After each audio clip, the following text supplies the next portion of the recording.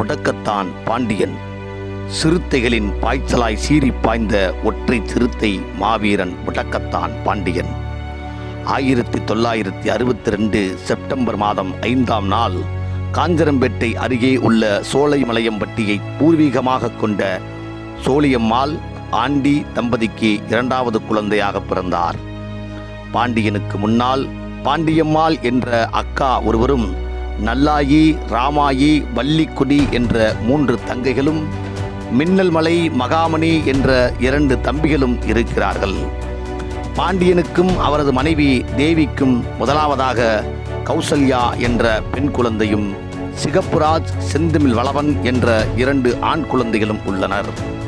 பாண்டியன் தன் இளம் வயதிலேயே சமுதாய உணர்வோடும் கட்டுக்கடங்காத காலை போல் சுறுசுறுப்பாக தலித் மக்களுக்கு எந்த பிரச்சனை என்றாலும் அவர்களுடன் நின்று குரல் கொடுப்பதை தன் பணியாகச் செய்துள்ளார். அதன் தொடர்ச்சியாக அம்பேத்கர் மக்கள் இயக்கத்தில் மாவட்ட துணைத் தலைவராகவும் அகில இந்திய காங்கிரஸில் மதுரை மேற்கு பகுதியின் இளைஞர் காங்கிரஸ் செயலாளராகவும் பணியாற்றியுள்ளார். அதன் பின்னர் சிறுத்தைகளின் தலைவன் வரலாற்று புரட்சியாளர் இரா திருமாவளவன் தலைமையில் அரியூரில் நடைபெற்ற நிகழ்ச்சி ஒன்றில் பாண்டியனும் கலந்து கொள்கிறார்.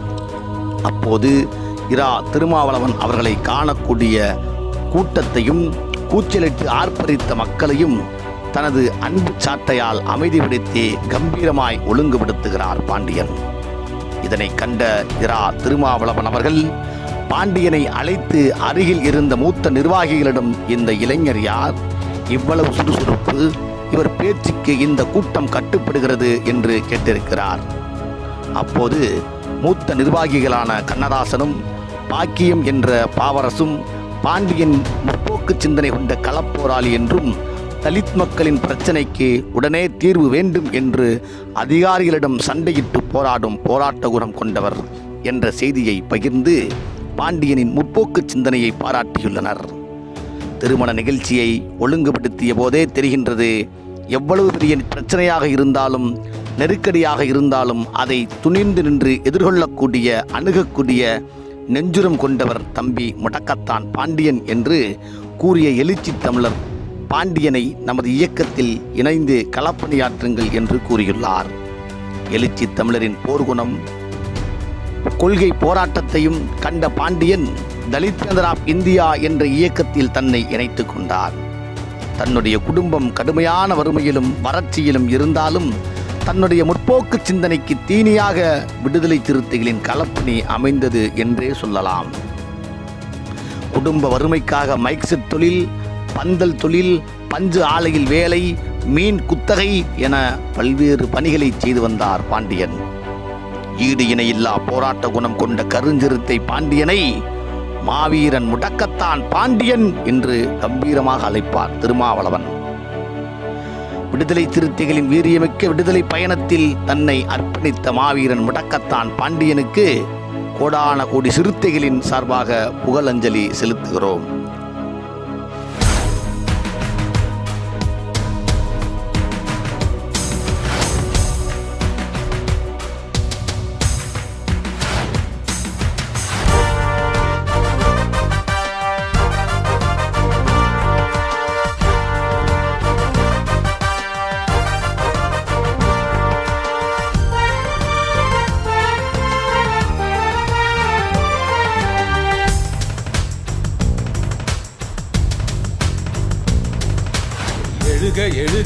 எழுந்து எழுந்து இங்கு சிறுத்தை சிறை உடைத்து வருகிறதே.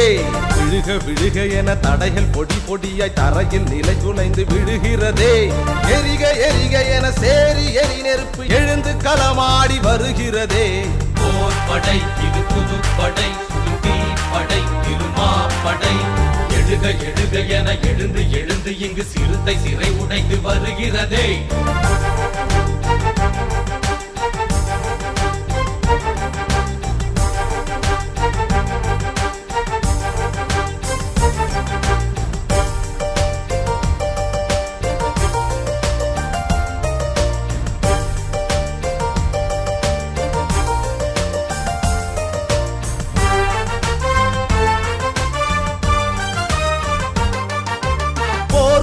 வாதை பூக்களம் அடத்தி குளமாடும் நீர்க்குளம் சிறுத்தைகள் கருவறைக்களம் திருமா தலைவனின் உழைக்களம்.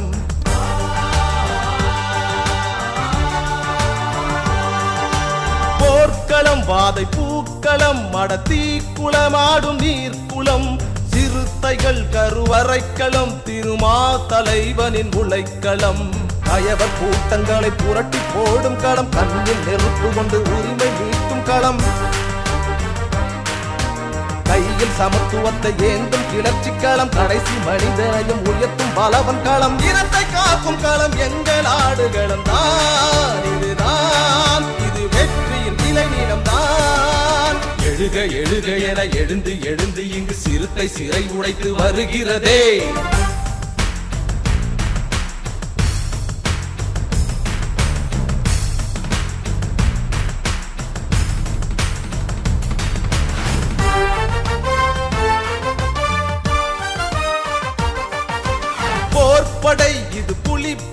தமிழ் ஈழமே எங்கள் அடிப்படை. பலவனின் வழி வரும் படை தமிழ் தேசியத்தின் தனிப்படை.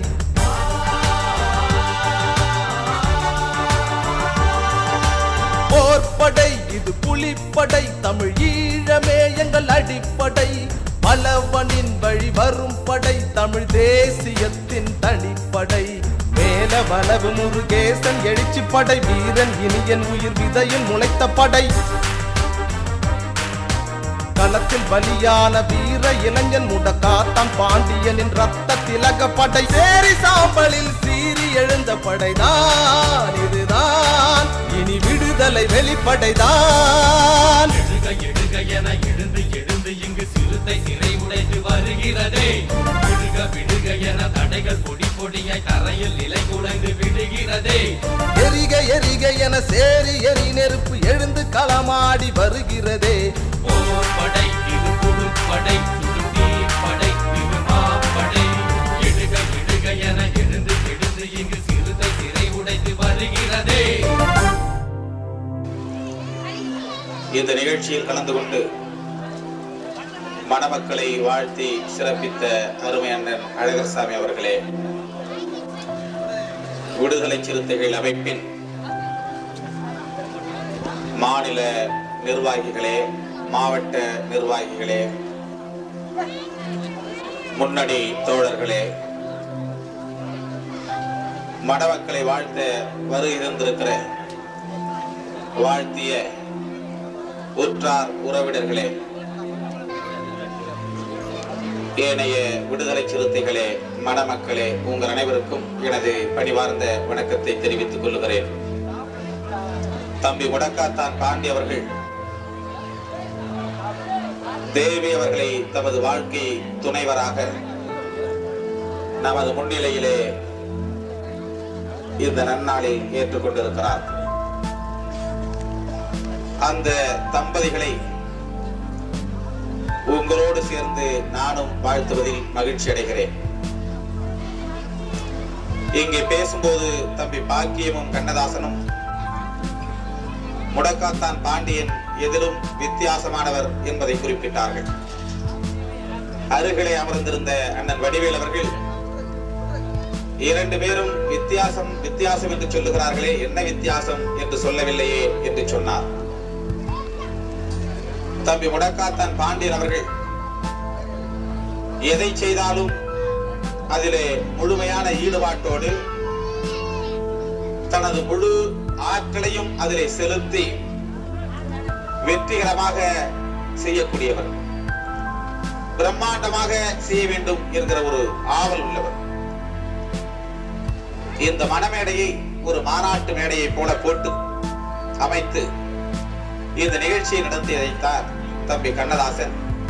இதிலும் வித்தியாசம் இருக்கிறது என்று சொன்னார்.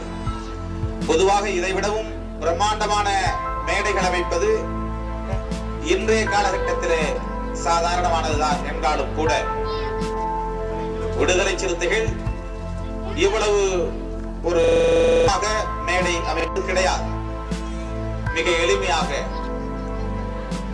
உற்றார் உறவினர்களை கூட்டி தமது திருமணங்களை தம் இல்லங்களில் நடக்கிற திருமணங்களை எளிமையாக நடத்துவார்கள். தம்பி முடக்காத்தான் பாண்டியிடத்திலே எளிமை இருந்தாலும் அதிலே ஒரு பிரமாண்டம் இருக்க வேண்டும் சிறப்பு இருக்க வேண்டும் என்று எண்ணக்கூடியவர். முதன் முதலிலே இந்த பகுதியில் பொதுக்கூட்டம் நடத்துகிற போது மிகப்பெரிய ஒரு மேடையை அரசியல் கட்சிகள் பொதுக்கூட்டம் நடத்தினால் எப்படி மேடை போடுவார்களோ அதுபோல கரும்பாலையை தம்பி முருகன் போட்டதற்கு பிறகு அதை விடவும் சிறப்பான ஒரு மேடையை போட்டு இந்த பகுதியிலே பெருமளவிலே குழாய்களை கட்டி நிகழ்ச்சியை வெற்றிகரமாக நடத்தியவர். அதுபோல எந்த ஒரு போராட்டத்தை நடத்தினாலும் அந்த போராட்டத்திலே முதல் நபராக நின்று தமது முத்திரையை பதிக்கக்கூடிய ஒரு பண்புள்ளவர். அதைத்தான் தம்பிகள் இங்கே குறிப்பிடும் போது அவர் வித்தியாசமானவர் வித்தியாசமானவர் என்று சொன்னார்கள். இன்னொன்றிலும் வித்தியாசமானவர். தம்முடைய நண்பர்கள் அல்லது சக தோழர்கள் தான் சொல்லுவதை கேட்க வேண்டும். தான் ஒரு மாவட்ட அமைப்பாளர் என்பதை நிலைநிறுத்தக்கூடிய ஒரு பண்புள்ளவர். பொதுவாக நமது அமைப்பிலே யாரும் தன்னுடைய பதவியை தன்னுடைய பொறுப்பை முழுமையாக உணர்ந்து அதை நிலைநாட்டக்கூடிய முயற்சியில் ஈடுபட மாட்டார்கள். அரசியல் கட்சிகளில் இருப்பவர்கள் நான் மாநில தலைவர் நான் மாவட்ட செயலாளர் என்று வெளியே பெருமையாக சொல்லிக் கொள்வது போல விடுதலை சிறுத்தைகள் யாரும் என்னை உட்பட பொறுப்பை ஒரு முக்கியமான விஷயமாக செய்தியாக நிலைநிறுத்தக்கூடிய வகையிலே அதை சொல்லுவதும் இல்லை செயல்படுத்துவதும் இல்லை ஆனால் முடக்காத்தான் பாண்டியன் இந்த அமைப்பினுடைய மாவட்ட அமைப்பாளர் பொறுப்பேற்றதிலிருந்து எனக்குரிய அதிகாரங்கள் எது என்பதை தட்டி கேட்டு நான் அமைப்பாளர் என்பதை எல்லார் முன்னிலையிலும் பெருமையாக அதை சொல்லி நான் சொல்லுவதை நீங்கள் செய்ய வேண்டும் என்று ஒரு அதிகார தோரணையோடு செய்ய வைத்த ஒரு தன்மை உள்ளவர். அதைத்தான் தம்பிகள் அவர் வித்தியாசமானவர் என்று குறிப்பிட்டு சொன்னது. எனக்கு அதிலே ஒரு விதத்தில் மகிழ்ச்சியும் கூட அந்த விதத்திலே முடக்காத்தான் பாண்டியன் மீது எனக்கு ஒரு மரியாதையும் கூட. எந்த பொறுப்பை கொடுத்தாலும் அந்த பொறுப்பை உதாசீனப்படுத்துகிற ஒரு போக்கு இல்லாமல் இந்த அமைப்பு அகில இந்திய அளவிலே பிரபலமடையாத அமைப்பாக இருக்கலாம். இந்த அமைப்பு மாநில அளவிலே பிரபலமடையாத அமைப்பாக இருக்கலாம். இந்த அமைப்பு அரசியல் கட்சிகளைப் போல அதிகாரத்திற்கு போட்டி போடாத அமைப்பாக இருக்கலாம். ஆனால் மக்களுக்கு தொண்டு செய்யக்கூடிய ஒரு அமைப்பு இது. இதிலும் நான் மாவட்ட அமைப்பாளர் என்கிற அந்த பொறுப்பை உணர்ந்து மற்ற தோழர்களை இயக்கக்கூடிய ஒரு தன்மை அதுதான் தலைமை பண்பு. பொறுப்பை உணர்கிற போக்கு முதலில் ஒருவரிடம் வர வேண்டும். ஏதோ எனக்கு மாவட்ட செயலாளர் என்று பொறுப்பு கொடுத்திருக்கிறார்கள். ஏதோ எனக்கு மாநில நிர்வாகி என்று பொறுப்பு கொடுத்திருக்கிறார்கள் என்கிற உதாசீன போக்கு இல்லாமல் நான் மாநில நிர்வாகி என்று உணர்கிற போதுதான் நான் மாநில அமைப்பாளர் என்று எண்ணுகிற போதுதான் என்னுடைய கடமையை நான் உணர முடியும். என்னுடைய பொறுப்பை நான் சரிவர செயல்படுத்த முடியும். நான் பிற தோழர்களின் மீது எனது அதிகாரத்தை செலுத்த முடியும். அல்லது அதிகார வர்க்கத்தோடு சண்டை போட முடியும். இதை முதன் முதலிலே இந்த அமைப்பில் நிறுவி காட்டிய பெருமை தம்பி முடக்காத்தான் பாண்டியனுக்கு சாரும் இது யாரும் மறுக்க முடியாது. எல்லா தோழர்களும் அதை உணர்வார்கள். அது ஒரு விதத்திலே தற்பெருமையாக கூட இருக்கலாம். அல்லது மற்றவர்களை மதிக்காத ஒரு போக்கு இருக்கிறதே என்று கூட நினைக்கலாம். அந்த விதத்திலே தம்பி முடக்காத்தான் பாண்டியன் மீது எனக்கு சற்று வருத்தம் கூட உண்டு. மற்றவர்களை அரவணைத்து போகிற தன்மை வேண்டும். தான் மட- மாவட்ட அமைப்பாளர் தான் என்கிற அந்த அதிகாரம் நிலைநாட்டப்படுகிற அதே நேரத்தில் அந்த பொறுப்பை உணர்ந்து செயல்படுகிற அதே நேரத்தில் அந்த பொறுப்பின் மூலம் மற்றவர்களை இயக்குகிற அதே நேரத்தில் அனைத்து தோழர்களையும் அரவணைத்து செல்லுகிற தன்மை வேண்டும். அனைத்து தோழர்களுக்கும் மலர்ந்த முகத்தோடு இன்முகத்தோடு அவர்களை வேலை வாங்குகிற தன்மை வேண்டும் என்று நான் அடிக்கடி சொல்லுவதுண்டு.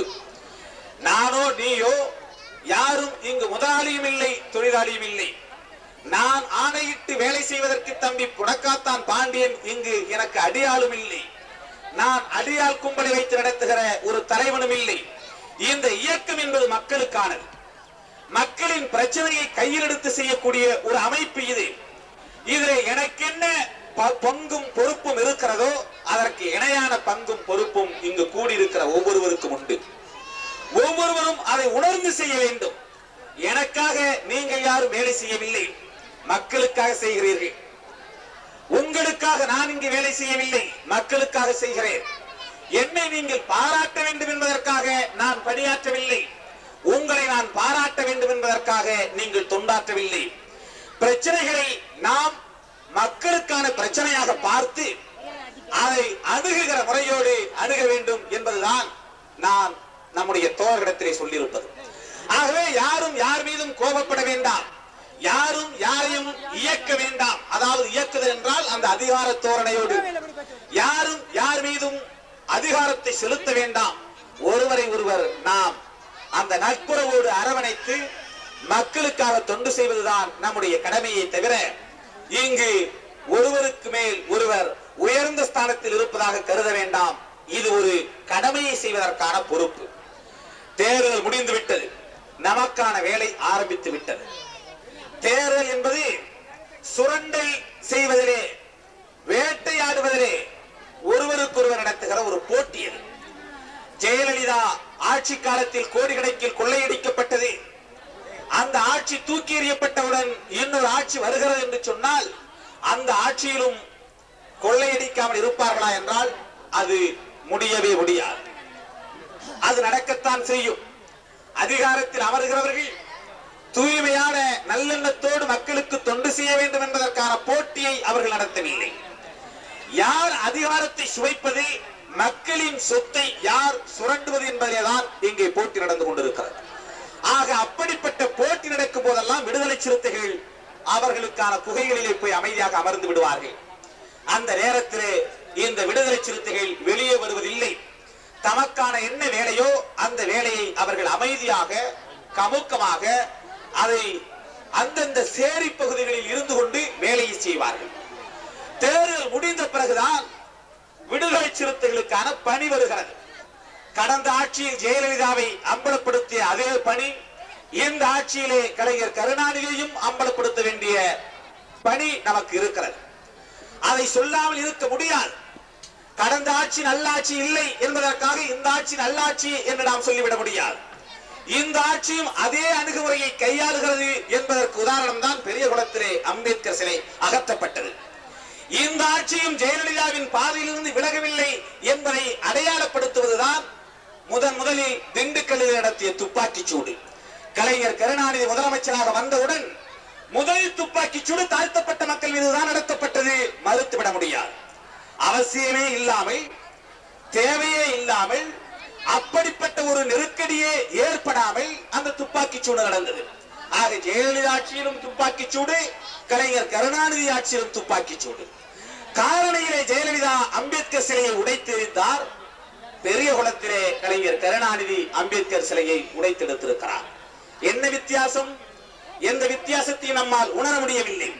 முதன் முதலில் முதலமைச்சர் பொறுப்பேற்று கலைஞர் கருணாநிதி கண்டித்து அறிக்கை விட்டார் ஒரு அமைப்புக்கு எதிராக என்று சொன்னால் அந்த அமைப்பு விடுதலை சிறுத்தைகள் அமைப்பு தான் விடுதலை சிறுத்தைகள் அமைப்பை ஒரு வன்முறை அமைப்பு என்று சொல்லி அறிக்கை விடுகிறார் முதலமைச்சர். ஏன்? அந்த அறிக்கையை எந்த அடிப்படையில் அவர் விட்டார்? என்ன ஆதாரத்தை அடிப்படையாக கொண்டு அறிக்கை விட்டால் விட்டார் வெறும் போலீஸ் தகவலை அடிப்படையாக கொண்டு தவறான தகவலை அடிப்படையாக கொண்டு ஐந்து ஆறு கோடி மக்களை நிர்வகிக்கக்கூடிய ஒரு முதலமைச்சர் பொறுப்பில் அமர்ந்திருக்கிற கலைஞர் கருணாநிதி தவறான தகவலை அடிப்படையாக கொண்டு விடுதலை சிறுத்தைகள் அமைப்பு திருட்டுத்தனமாக அம்பேத்கர் சிலையை தூக்கி கொண்டு போனதாகவும் அங்கே இருக்கிற தாழ்த்தப்பட்ட பொதுமக்கள் எல்லாம் அம்பேத்கர் சிலை வைக்க வேண்டாம் என்று தடுத்ததாகவும் விடுதலை சிறுத்தைகள் தான் அத்துமீறி அந்த சிலையை வைத்ததாகவும் அப்படி வைக்கிற போது தம்பி புறப்படு. நீ தல நிமிந்து புறப்படு. அண்ணே திருமா பேர சொல்லி நீ தீப்பிழம்பா கிளம்பிடு.